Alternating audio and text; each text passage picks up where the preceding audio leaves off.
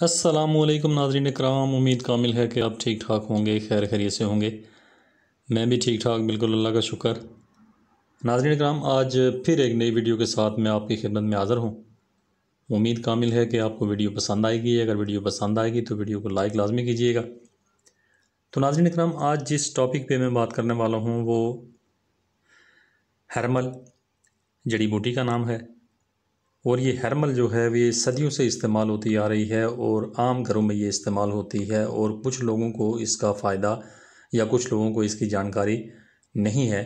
लेकिन आज जो है, मैं तफसील से इन मैं आपके सामने ये बयान करूँगा कि इस हरमल का फ़ायदा क्या है किस किस फ़ायदे के लिए ये इस्तेमाल होती है और हरमल करती क्या है, हरमल होती क्या चीज़ है, ये सारी चीज़ें जो है ना इन आज डिस्कस होंगी।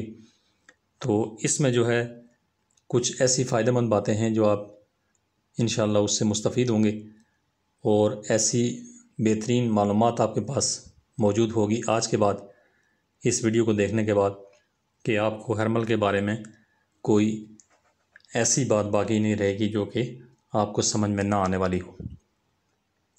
तो नाजरीन कराम शुरू करते हैं।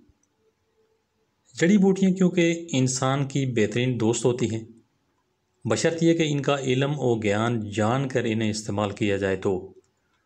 हमारे यहाँ हौसला शिकनी का माहौल पाया जाता है।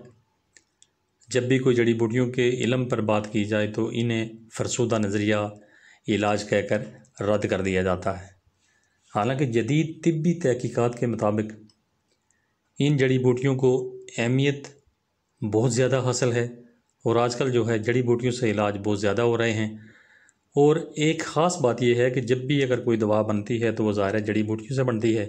लेकिन हम लोगों ने देसी इलाज को इग्नोर किया हुआ है और अंग्रेज़ी इलाज को हम तरजीह देते हैं कि कोई भी महँगी दवाई अगर होगी, उसके ऊपर अगर लेबल लगा होगा, किसी अच्छी मुश्किल सा जो है ना इंग्लिश में नाम लिखा होगा तो हम सोच रहे होंगे कि यह अच्छी है। तो देसी दवाइयाँ जितनी भी होती हैं सारी तो इन्हीं चीज़ों को ले कर तो दवाइयाँ बनती हैं।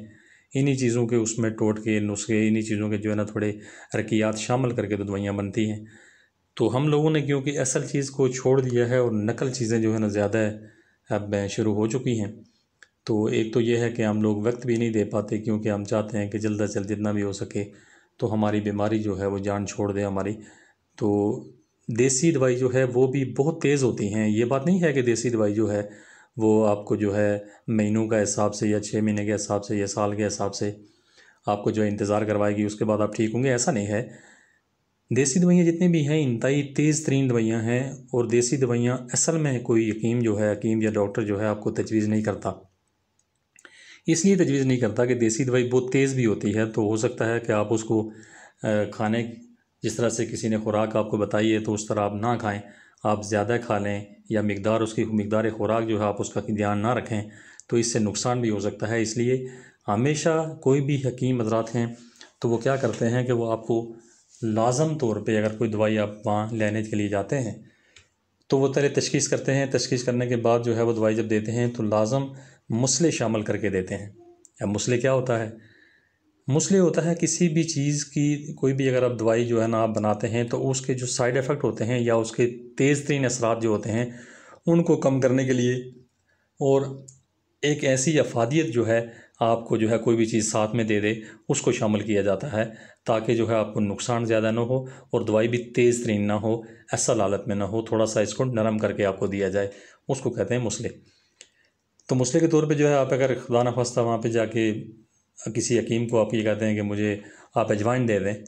तो अजवाइन अगर वो समझ रहा है कि ज़्यादा ख़तरनाक है, ज़्यादा तेज़ है तो ये अगर नहीं बर्दाश्त कर सकते तो उस लाजमी साथ में वो आपको नुस्खा बताएगा कि इसके साथ में जो है ये चीज़ आप इस्तेमाल करें तो ज़्यादा बेहतर रहेगा।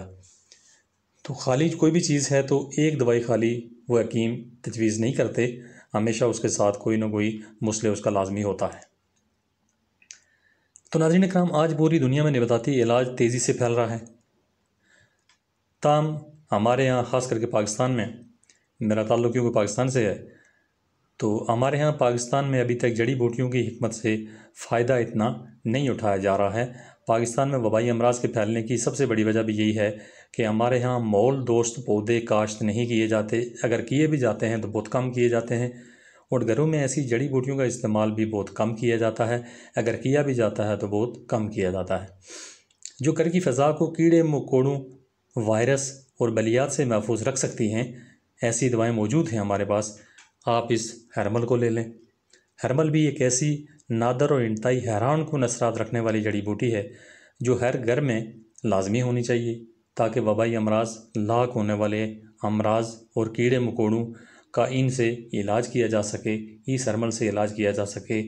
घरों से कीड़े मकोड़ों का ख़ात्मा करने के लिए जो स्प्रे वगैरह आप लोग इस्तेमाल करते हैं, हम लोग इस्तेमाल करते हैं तो इनकी वजह से ख़तरनाक अमराज पैदा होते हैं और साथ पैसे का भी ज़ाया बहुत ज़्यादा होता है। जबकि हरमल की धुनी सदियों से दी जा रही है। सदियों से हर घर में हरमल की धुनी दी जा रही है।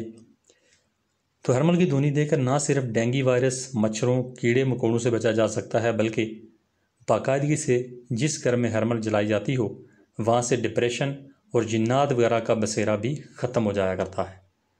नाजरीन इकराम, कितनी बड़ी बात है कि डिप्रेशन खास करके आजकल हर दूसरे आदमी का मसला है और जिन्नात तो हर घर में तकरीबन बसेरा उनका होता ही है तो इससे वो भी ख़त्म हो जाते हैं। सदियों से हरमल एक मुकदस और रूहानी मकसद के तहत इस्तेमाल होती आ रही है। जदीद तहकीक ने इसको एंटी बैक्टीरियल और एंटी वायरल खसूसियात का हामिल शाकार करार दिया है। मारिन के मुताबिक हरमल इंसान के मरकज़ी निज़ाम एसाब को तक देती है, जिससे मूड बेहतरीन हो जाता है और इंसान डिप्रेशन से बाहर निकल आता है। डिप्रेशन क्योंकि आजकल बहुत बड़ा मसला है। तो ये हरमल उसमें भी बहुत ज़्यादा फ़ायदा करती है कि आप डिप्रेशन से बाहर आ जाते हैं इसकी दोनी देने से। अब नाजरीन कराम हरमल पंसार स्टोर पे आम दस्तियाब होती है। लेकिन चीन और सेंट्रल एशिया में हर्मल की सब्ज़ टहनियाँ फ़रोहत होती हैं। हरमल की धोनी देने के लिए घर की फ़ज़ा इंसान दोस्त बनाई जाती है। वो लोग जिन्हें नींद का प्रॉब्लम होता है, ख़ास करके, वो हफ़्ते में दो बार हरमल और लोबान की धोनी लाजमी घर में देते रहा करें। हैरान कन तहकीक ये है कि इससे ख़वान के अयाम में पैदा होने वाली बेकायदगी भी ख़त्म हो जाती है, माशाल्लाह। हरमल की धोनी देने से मच्छर भाग जाते हैं। अगर इसका सब्ज़ पौधा कमरे में रख दिया जाए तो मच्छर कमरे में दाखिल नहीं होते। तिब्बी मारीन लोबान और हरमल मिलाकर इसकी धोनी देने का मशवरा देते हैं। इसका असर कई दिन तक रहता है और इस घर से जरासीम कई दिन तक दूर रहते हैं। जिस घर में हरमल और लोबान की धुनी दी जाती है, आग के अंगारों पर लोबान हरमल डालने से जो धुआँ उठता है, वो कोने कोने से कीड़े, मकोड़ों, मच्छरों और जिन्नात को घर की जान छोड़कर भागने पर मजबूर कर देता है। अगर यकीन ना आए तो आपको आजमाना लाजमी है। नाजरीन कराम इसके जो फ़वाद हैं, वो मैंने आपके सामने चीदा चीदा कुछ पेश किए हैं। हो सकता है कि आपको वीडियो पसंद आई होगी। तो वीडियो को लाइक ज़रूर कीजिएगा, अगर पसंद आई है तो वीडियो को दूसरे दोस्तों के साथ भी शेयर कीजिएगा, मेरे चैनल को सब्सक्राइब भी लाजमी कीजिएगा, और इसी तरह की नई नई वीडियो और अच्छी अच्छी वीडियो इंशाल्लाह मैं आपके लिए लाता रहूँगा। उम्मीद है कि इससे आपको पूरा पूरा फ़ायदा होगा। मिलते हैं किसी और और इन्फॉर्मेटिव वीडियो में। Thanks for watching B A P always bye